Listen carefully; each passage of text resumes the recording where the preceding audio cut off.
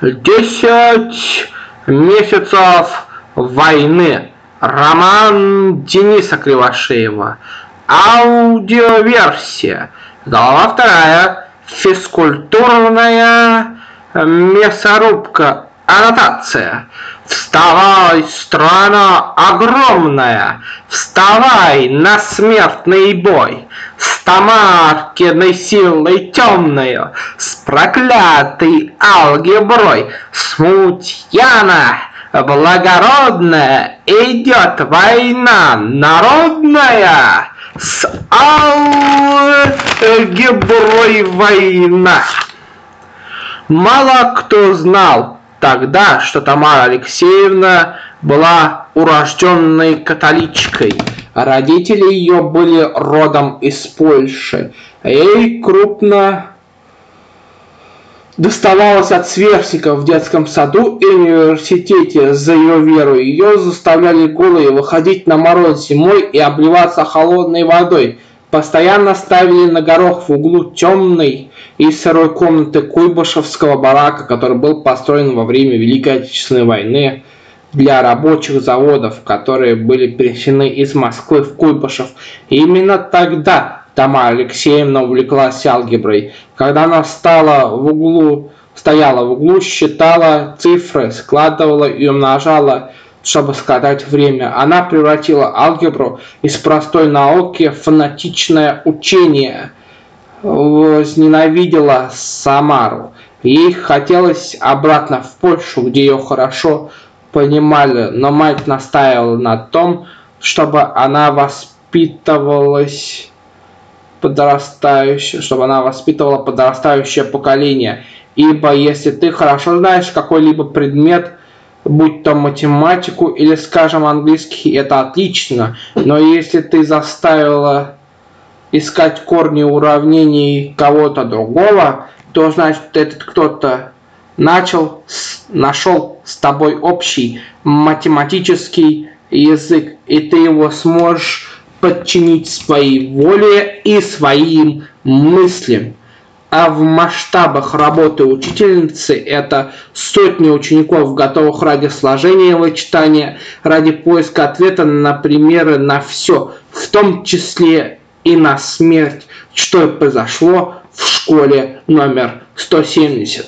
Гриша Ливанов рос с бабушкой. Его родители попали в автокатастрофу, когда в машине, в которой он ехал, отказали тормоза прямо на железнодорожном перекрестке под Сызранью. Машинист успел затормозить, но гигантские цистерны собрались с петель и одна попала точно в лобовое стекло их машины. Гриша находился на заднем сиденье. Ехали они от знакомой учительницы математики. С тех пор он возненавидел данный предмет, ведь если бы не математика, его родители остались бы живы. Бабушка не смогла справиться с его бурным нравом и отправила его в кадетское училище, которое находилось рядом со школой. Кадеты учились наряду с нами, но всегда отличались вольным характером, как настоящие казаки. И именно поэтому на призыв Гриши собраться на митинг протеста в столовой откликнулось большинство кадетов. Их руководство было откровенно все э, за учительский джихад, потому что директор заигрывал с ними, и они хотели подмять под себя школу и выгнать нас. Такой шанс им предоставила Тамара.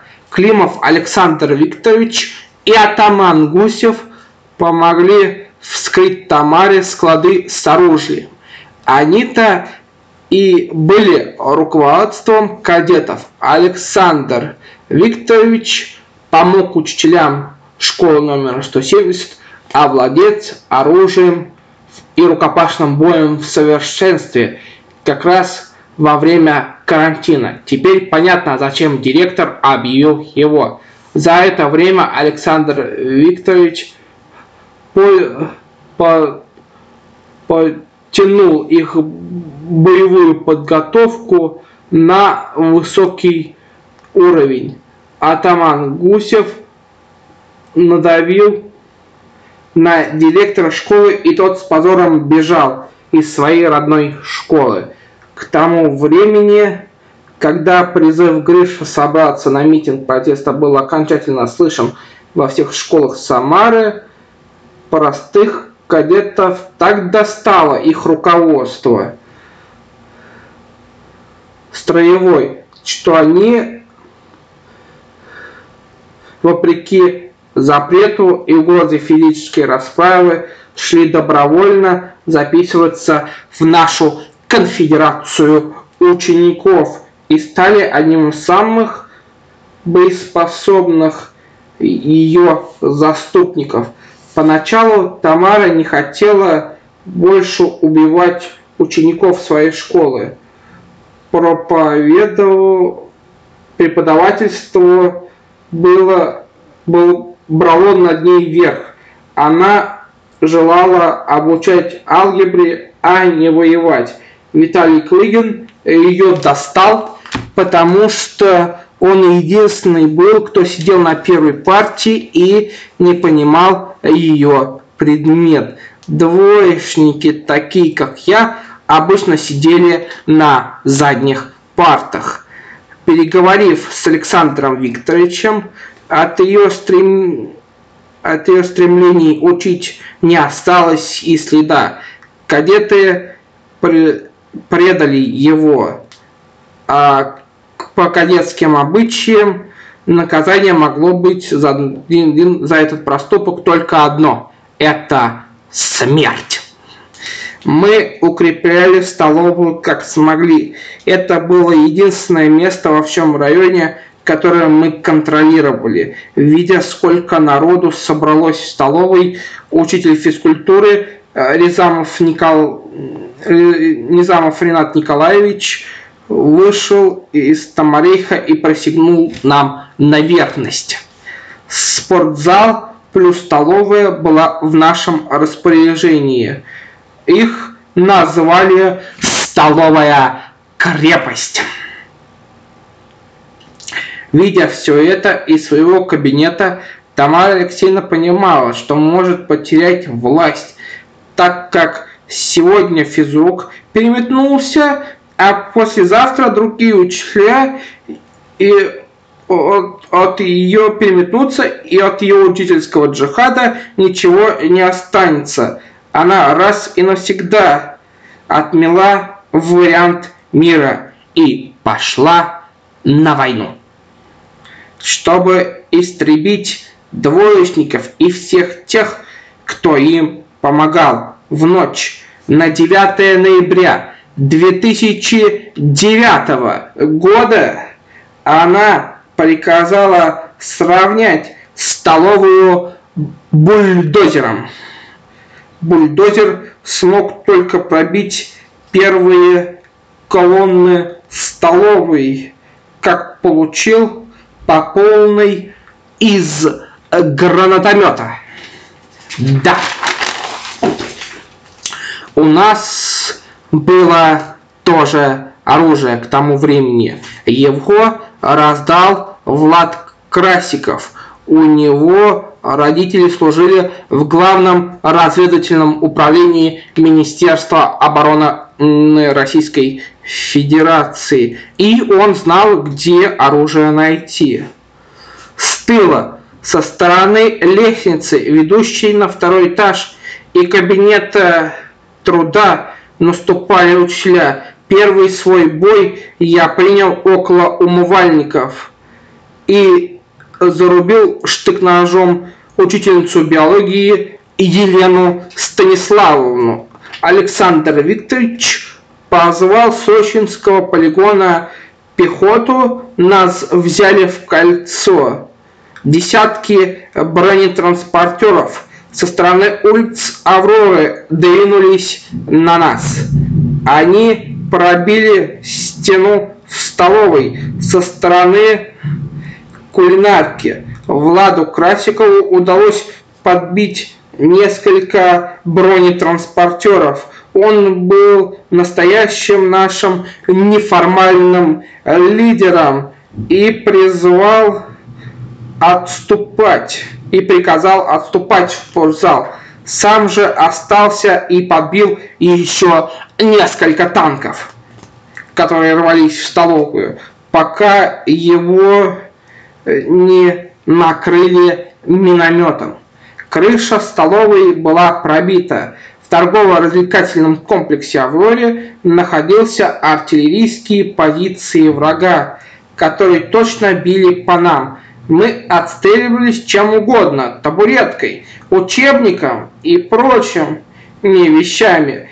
Через запасной выход в спортзале там подходил, подошла помощь со стороны Кировского района.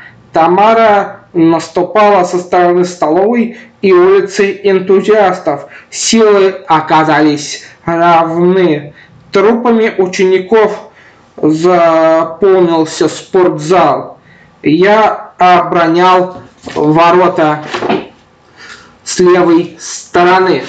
Тогда Тамара и Александр Викторович поняли, что победить учеников могут только сами ученики.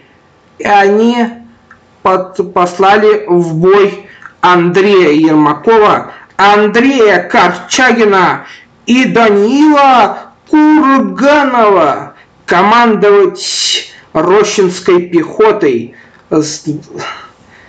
Э, Александру Викторовичу по его временам знаком Александр Викторович с этой пехотой э, был знаком еще по временам своей молодости в армии. Андрей Ермаков сразу проник в левый фланг нашей обороны. Корчагин наступал по центру и овладел укреплениями в центральном круге спортзала. Круг Курганов бил нас слева. Их успех был обусловлен тем, что они хорошо знали нас, конфедерацию учеников и наши методы борьбы, поскольку сами были учениками. В минуту затишья я крикнул, сколько Тамара платит за предательство. Курганов ответил мне, ты ничего не понимаешь, это алгебра, а не свобода. Уже э, мне обещали красный диплом и поступить в любой вуз страны, в который я захочу. Тут я выстрелил в потолок, и крыша спортзала пробила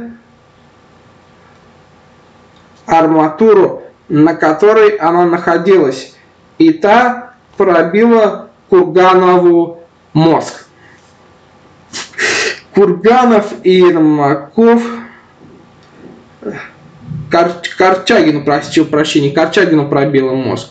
Курганову и Ермаков сумели отскочить и остались в живых мы отходили из спортзала, где впервые дали равный бой противнику. Дата 9 ноября 2009 года навсегда была вписана в историю как начало самой великой и ужасной войны в истории 21 века, общешкольной войны в Самаре Тамара Алексеевна полностью подчинила себе школу, где уже не шли занятия, впрочем, как и по всей Самаре. Трупы учеников Тамарейх закапывал в двух детских садах, располагающихся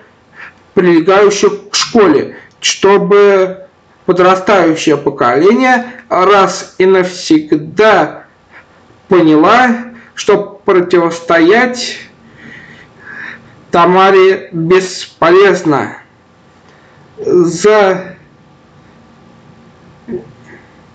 э, директора школы, ой, прошу прощения, э, Рената Николаевича, Низамова Рената Николаевича решили повесить на баскетбольной площадке, чтобы другим неповадно было.